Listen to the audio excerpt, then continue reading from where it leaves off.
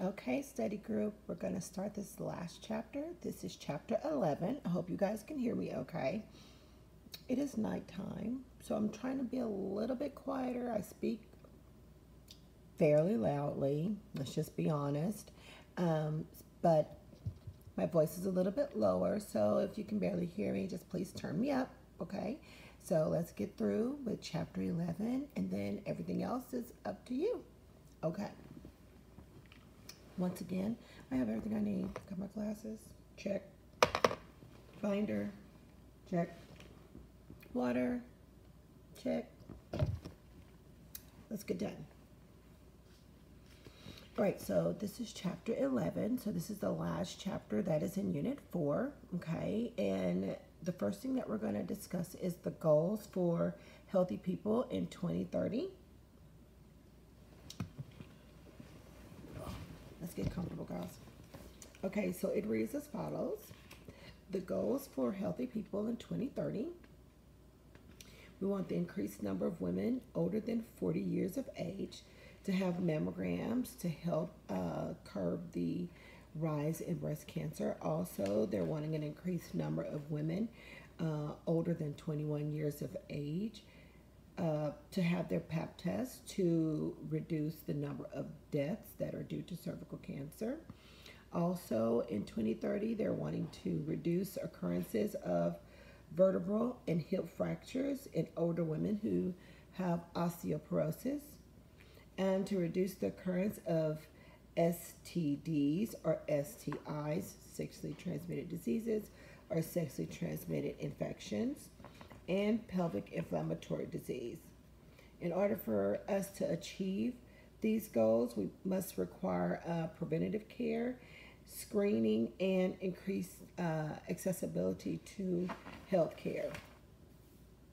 So when we're talking about preventative care for women, um, when we're talking about preventative care for breast um, care, we're talking about teaching the patient how to perform breast self-examinations, which we call um, BSEs, and also teaching them the importance of mammograms, um, teaching vulvar self-examinations, which are the SEs, and pelvic examinations, with breast care, there are three different approaches for early uh, detection of breast cancer, and that is the monthly uh, breast self exam, annual professional breast, breast examinations, and mammograms as appropriate for the person and her age.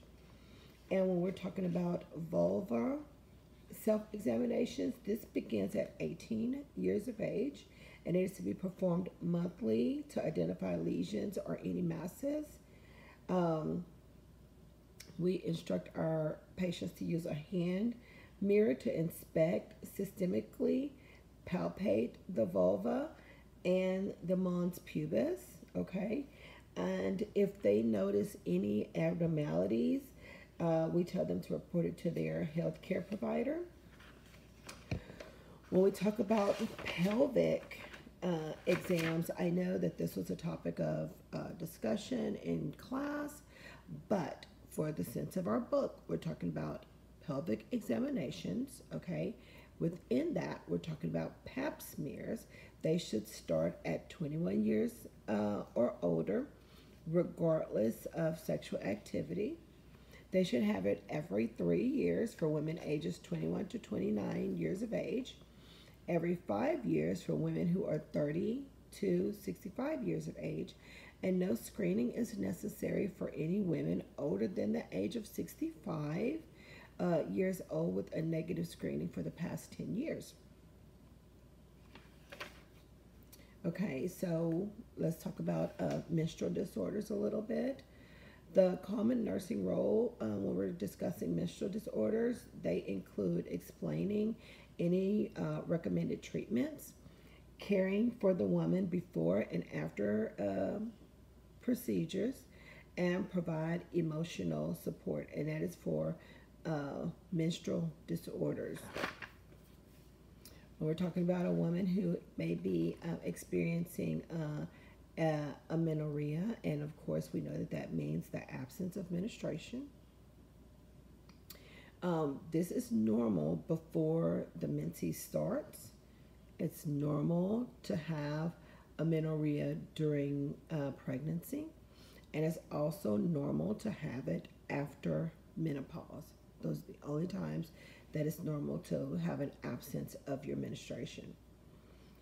Okay, now we categor- categorize amenorrhea as primary or secondary. So, what we're basically saying when we say primary or secondary is did it happen first and made other things happen, or is she without a period because of something else? That would be considered secondary. And the treatment for amenorrhea depends on the cause that we can identify. Okay, so uh, abnormal uterine bleeding. There are three types of abnormal uterine bleeding. There is, um, let's see, uh, if the bleeding is too frequent, if the uh, duration is too long, and if it is an excessive amount. Common causes of abnormal uterine bleeding are pregnancy complications, lesions of the vagina, the cervix, or the uterus, breakthrough bleeding when a patient may be on contraceptives, endocrine disorders can cause it, or failure to ovulate could cause abnormal uterine bleeding.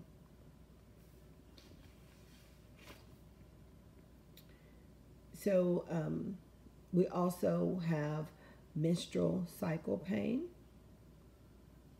Um, so, we have um, one cycle of pain that we call the Mittelschmerz Mittelschmerz is pain that many women experience around ovulation, and it's near the middle of their menstrual cycle. Then we have this dysmenorrhea, and that is painful menses or uh, cramps. If we label it as primary, there's no evidence of pelvic abnormalities. If we label it as secondary, we're saying that a pathological condition is identified. If we're labeling it vasopressins and prostaglandins from the um, endometrium could contribute to her pain. Or um, we could say that there's some uh, potent stimulants of uh, painful uterine contractions. So those are the only four things that we're looking for when we're talking about painful menses or cramping.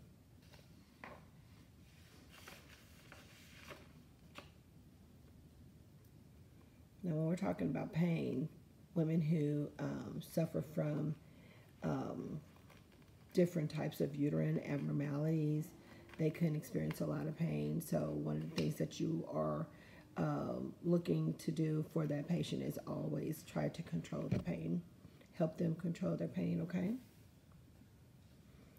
Uh, let's talk about another thing that's painful for some of our uh, female patients, and that is endometriosis. And that is the presence of tissue that resembles the endometrium but it is located outside of the uterus. And it can cause pain, pressure, and inflammation. And it is more constant than uh, spasmodic, okay? It can cause painful um, sexual intercourse. It can cause pain when she's on her cycle. It can cause pain when she's not on her cycle as well.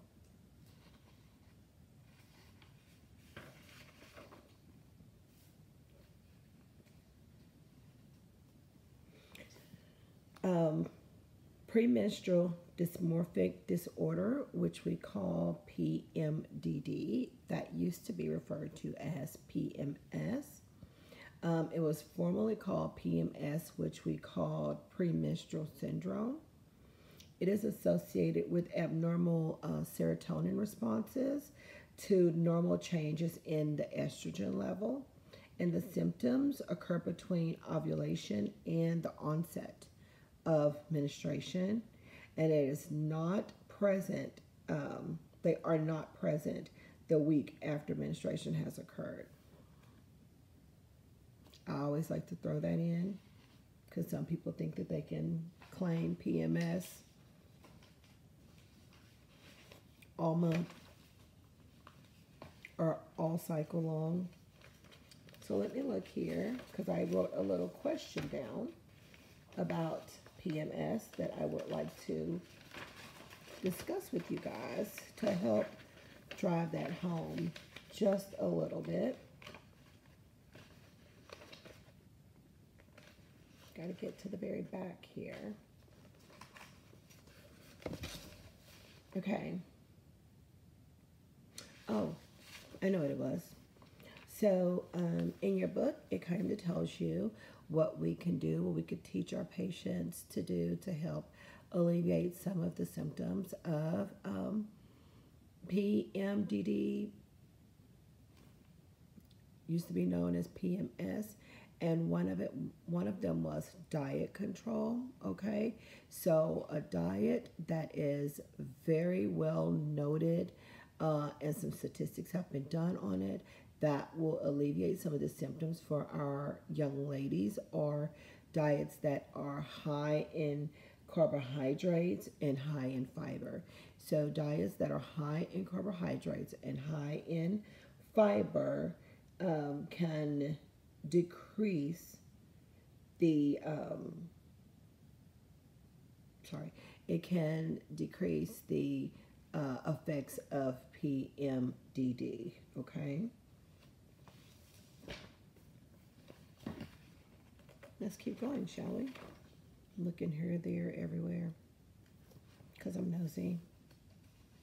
Okay, so so some symptoms of I'm sorry, symptoms and diagnoses uh, of PMDD are decreased mood. They may be lethargic. They can have anxiety or tension um, or feeling like they're just on edge. Change in appetite, change in the sleeping habits, feeling of uh, being overwhelmed, increased sensitivity to uh, rejection, irritability. They can uh, have some physical symptoms like breast tenderness, bloating, weight gain, uh, headaches. They could have difficulty in concentrating and decreased uh, interest in their normal, you know, usual activities. Okay. We're working right on through this, guys. Let's go. So let's talk about factors that can change normal flora of the vagina. Antibiotics can change the normal flora of the vagina. It encourages youth overgrowth. You, sorry, yeast overgrowth. I cracked myself up. Uh, douching that can change the pH within the vagina. Sexual intercourse can actually raise the pH to seven or higher for up to about eight hours after. Uncontrolled diabetes also can change the normal flora because the high sugars promote growth of microorganisms. Those are all very common things that change the normal flora of the vagina. Um, and so when we're teaching our uh, patients how to prevent vaginal infections, okay, these are highlights, guys, okay, just to get you back on the same page with me. These are highlights. Um, we teach the woman to wear cotton underwear, avoid tight nylon and spandex pants, which are very popular right now. So we educate on that a lot. We like to teach people to wipe from front to back, frequent hand hygiene, a high fiber, uh, low fat diet, exercise, and to avoid douching and using uh, internal feminine hygiene products. That would help prevent vaginal infection, okay? Now let's talk about the nurse's role when we're talking about uh, gynecological infections. It's the nurse's role to educate the women concerning their vaginal health, to teach them preventions of STIs, identifying uh, patients that may have high risk behaviors, uh, teach them safe sex practices, teach them um, to reduce the number of sexual partners, in avoiding exchanging of bodily fluids. And also, we like to provide non judgmental um, and sensitive counseling when it comes to our patients, um, simply because it's not our role to judge, period, anybody. But when a nurse um, judges, then sometimes the patients will not um, take heed to what you're saying because it just kind of seems like it may be a little bit preachy or judgy or however, whatever the term is you want to use with that. Um, but what we want our patients to do is come to us, talk to us, listen to us, try to um, follow our directions. And so we want them to feel comfortable coming to us and talking to us. And the best way to do that is to be very open and non judgmental. So now let's talk about toxic shock syndrome. I know in class we had a couple of really um, good examples of people uh, that may have gone into toxic shock or close to it. Um, you know, so there are some great examples in class. I love it when you guys share. It helps people remember certain things, okay? So, toxic shock syndrome, which we call TSS, is usually caused by strands of um, Staphylococcus Coca RS, uh, and its toxins that can produce shock, uh, coagulation defects, and tissue damage if they enter into the bloodstream. It usually results from the trapping of bacteria in the reproductive tract uh, for a prolonged period of time.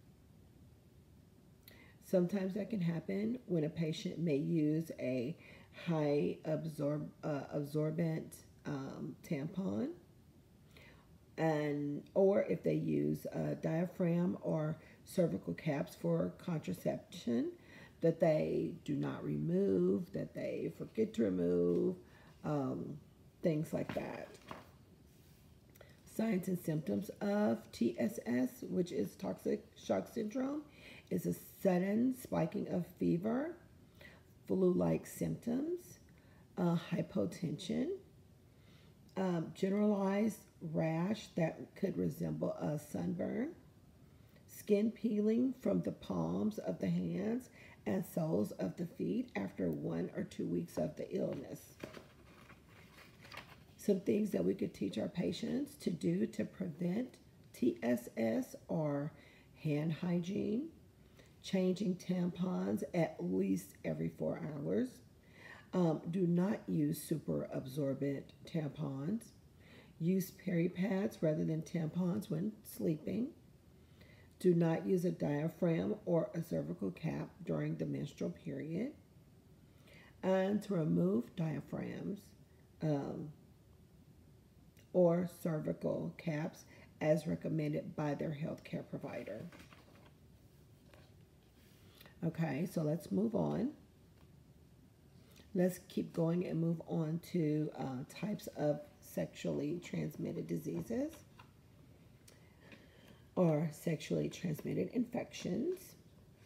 We have the fungal uh, or bacterial type, and then we also have the viral type. Okay, so let's start with the uh, bacterial or fungal. So that is um, Candidus, trichomonas, bacterial vaginosis, chlamydia, gonorrhea, syphilis, and PID, which is known as pelvic inflammatory disease. Now, the viral STIs are herpes simplex viruses, human papilloma virus, hepatitis B, HIV or AIDS. These infections uh, can be spread by sexual contact, although some have other modes of transmission as well.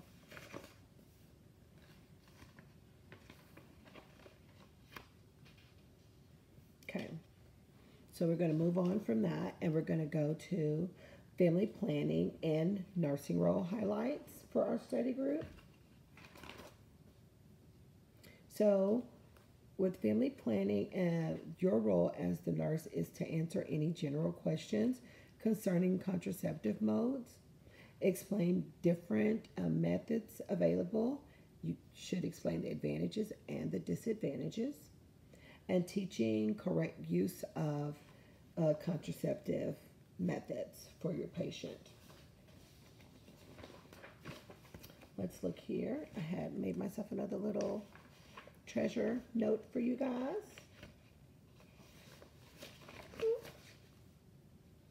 Oh, okay, so when we're talking to a patient about um, birth control, um, we must still add, even though uh, a lot of people just want to know about all the different chemical, you know, ways of uh, birth control, or they want to know some of the more natural ways um, that they can control if they become pregnant or not. As a nurse, you always discuss abstinence as being the only uh, birth control that is 100% effective, and it is the only birth control that can guarantee that the patient will not um, get an STI. Okay, so if you're teaching a class, if you are teaching a school of high schoolers, now they're even starting much earlier than that, you know, with the sex ed classes, of course.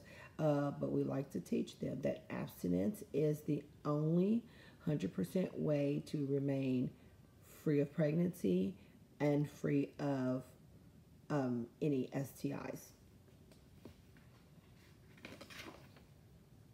Okay, so factors that could influence the choice of contraceptive methods. Um, age is one, um, health status um, is another. Religion or culture could uh, influence someone's choice, their frequency in, in um, sexual activity, uh, convenience, and the degree of spontaneity uh, that they desire, impact of unplanned pregnancy on the woman or the or her family would influence the choice. Expense of the contraceptive could influence the choice. Number of sexual partners or desire for children in the future. All of these things could uh, play in on the how or why a patient would choose a type of contraceptive method.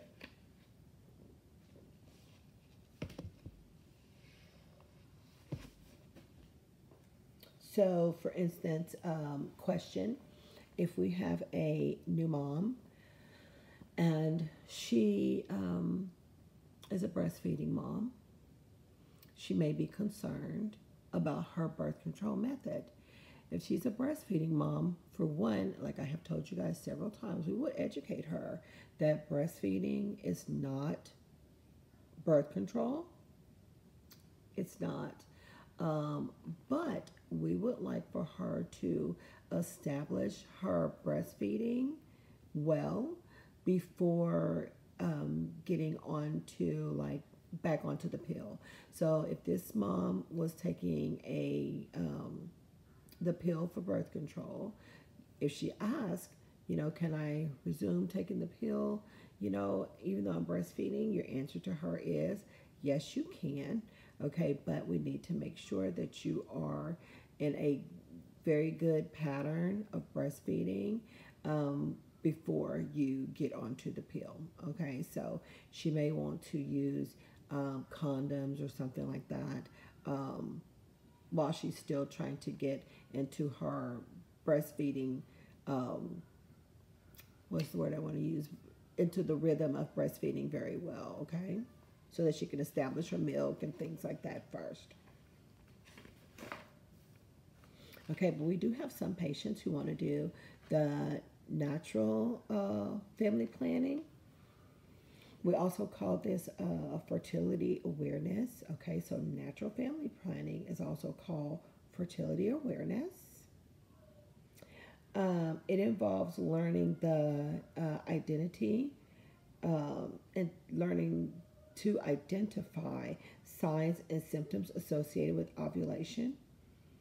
Um, this plan is acceptable to most religions and it requires no uh, administration of medication or any uses of devices.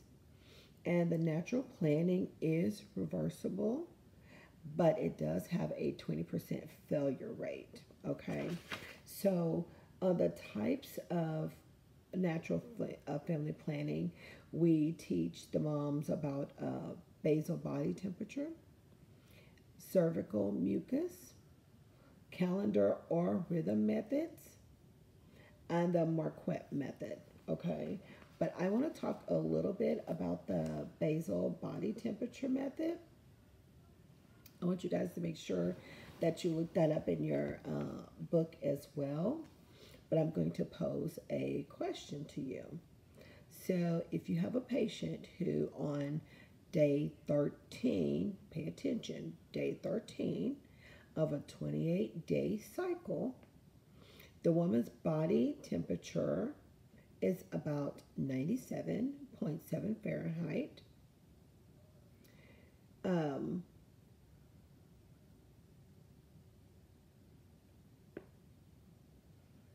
if she is going to be with an ovulation on the 14th day, her temperature measurement would be uh, 98.1. Okay, so please make sure that you look at that basal temperature chart in your book so that you can kind of understand it. I just told you what it was and what's the difference going to be on the temperature of that day. But I want you to make sure that you go back and read that for full understanding, okay? But this is just a little Cliff Note version. Okay, so also when it comes to cervical mucus, I want you guys to remember that um, cervical mucus, um, when it's thin, it is there to enhance the mobility of sperm. So if you have a patient who is wanting to check her cervical mucus and she reports that the cervical mucus is thin, okay, and clear, then that is how we can explain to her, okay, this is when you'll know that the mobility of the sperm will be great at this time, okay?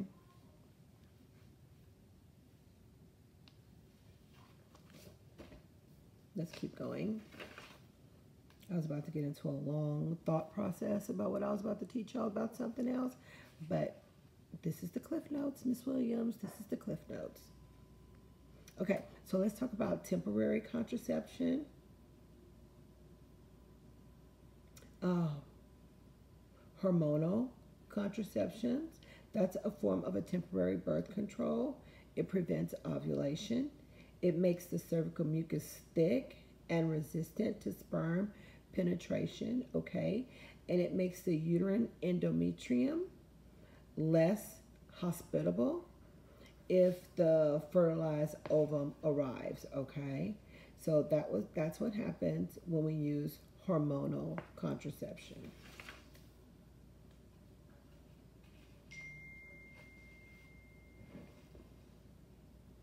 Oh my gosh.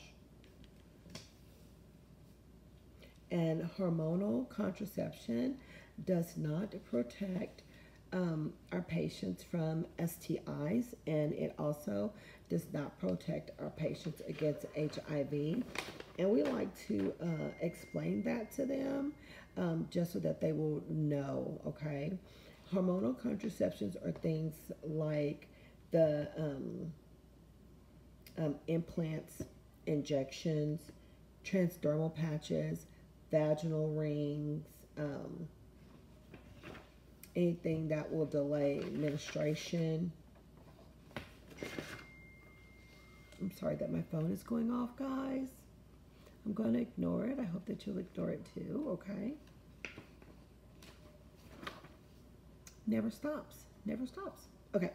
So let's also talk about um, ARCHES, okay? It is the warning signs that we tell our patients to report when they're taking oral contraception. And ARCHES, the A stands for abdominal pain that may be severe. It is an acronym. I know that you guys know that, but I'm going to break down the acronym of ARCHES, okay? A is for abdominal pain, which is severe. C is for chest pain, dyspnea, or bloody sputum. H is for headaches that may be severe, uh, weakness, or numbness of the extremities. E is for eye problems. And S is for severe leg pain or swelling or speech disturbances, okay?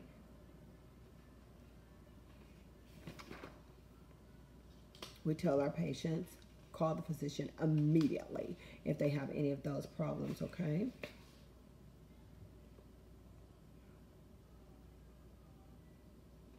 Now, when we're talking about oral contraceptions, we also like to teach our patients that there are some medications that she can take, that she may be prescribed, that will decrease the effectiveness of her contraception, um, like antibiotics, uh, anticonvulsants, um, barbiturates, um, and when I say that antibiotics, I'm talking about uh, antimicrobials, okay, such as ampicillin or tetracycline, okay. There are some antibiotics that the physicians can give that will not hinder birth control, okay. So we're talking about antimicrobes. Okay, so we also like to teach our patients about barrier contraception. Barrier contraceptions are things like diaphragms, cervical caps, uh, condoms, uh, male or female, and spermicides.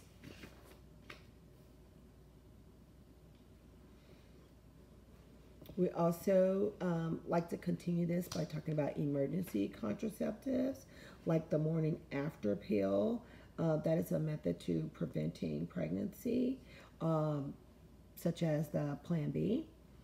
Um, and this must be taken no later than 72 hours after unprotected sexual intercourse. And it they may need to be um, and may need to be repeated 12 hours after the first pill. But this depends on the type of pills that they uh, purchase. Okay, so they must read the directions um, and follow the directions of the medication. Now, since we're talking about contraceptives, we're going to talk about some of these myths, okay? Are these false or fake, um, unreliable contraceptive methods like withdrawal? I've delivered a ton of those babies. Um, uh, douching, breastfeeding, those are not um, birth control methods, okay?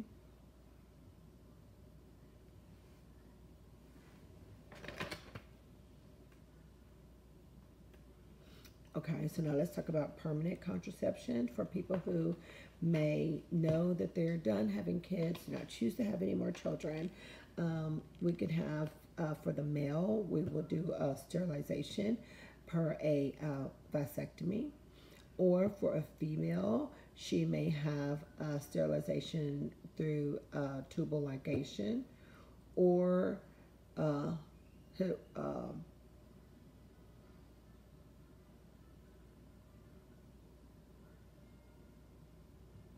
hysteroscopic, hysteroscopic um, sterilization. I hate saying that. I want to say hysterectomy with a scope for sterilization, but that's not really what it's called. It is done with a scope though. Oh, let's talk about uh, menopause. Okay, so, oh, you guys, this is our last little bit. Okay, so let's talk about menopause. Um, menopause is actually described as cessation of the menstrual cycle for 12 months. Okay, so they must be free of a period for 12 months. Um, and they will be free of the period because of a decreased uh, estrogen production. All right. But it cannot be, oh, I, I missed my period for one month, four months, six months. No. Or, you know, she's spotted for 12 months. That means she's, you know, in menopause. No. Period free for 12 months equals menopause. Uh, pregnancy can still occur um, at a very short stage of menopause, which is called the climacteric stage, and that is the change of life. It is also known as the perimenopausal period, which is about uh, which is two to eight years before menstruation really ceases. Okay, the pregnancy can still occur during this time period. this is sometimes when the woman may think that she is, you know, um, going through the change, you know, because she may not be having her cycle as regularly or things like that, but she is not menopausal until she's 12 months free of her period. Some physical changes that women will notice when they're going through menopause is usually caused by a decrease in estrogen. Changes in her menstrual cycle, vasomotor instability, which is known as her hot flashes, decrease in elasticity and moisture of her vagina. She may have uh, pain while having sex. Some may notice changes in the uh, libido, like they may have um, changes there in their sexual desire. Uh, breast atrophy or a loss of productive effects of her estrogen on the cardiovascular and her skeletal system. Some psychological and cultural variations that we note with women who are going through menopause. It can threaten their feelings of health and self worth.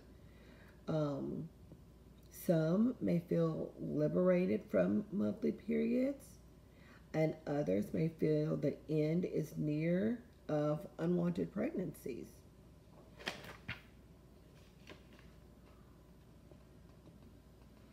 There's some treatment options that um, we like to educate our menopausal um, patients on. It is exercise. We teach them to increase the calcium, magnesium, and um, fiber, which we really want high fiber in their diet hormone replacement therapy, which is also known as HRT. This may increase the risk of a heart attack and stroke. It is based on individual patients, and that is always discussed with their healthcare provider. And the healthcare provider likes to weigh the pros versus the cons with giving any HRT. Um, we also teach complementary and uh, alternative therapies and prevention of osteoporosis for these patients. Our nursing care for our patients are not limited to, but involve determining whether the woman understand the risk of uh, HRT and the benefits of HRT. We teach the signs and symptoms for them to report, like vaginal bleeding, that recurs after cessation of her menses, vaginal irritation, um, or signs of UTIs. We also teach the woman how to take prescribed medications correctly um, and to report specific side effects that she might know. And we teach her the value of weight bearing exercises in order to help her bones and um, things like that during her menopausal state. I know you guys are like, oh my gosh, Miss Williams, what are you looking at? I was looking at my book. Was you looking at your book? Was you reading at your notes? Well, I hope that you were. So, guys, this is the conclusion of chapter 11. I hope that um, doing these little study groups are helpful since we decided to do them a little bit later um, in our semester. So, we're kind of starting them a little bit late. Let's stay on it. Let's listen to them. Turn them on in your car. Listen to them as you drive. Do whatever it is that you have to do um, in order to stay on top of maternity. Okay. It's been a pleasure doing them for you. I will do chapter five, I'm sorry, unit five as well, but I'll start now. Okay. Have a good night. See y'all in the morning. Bye.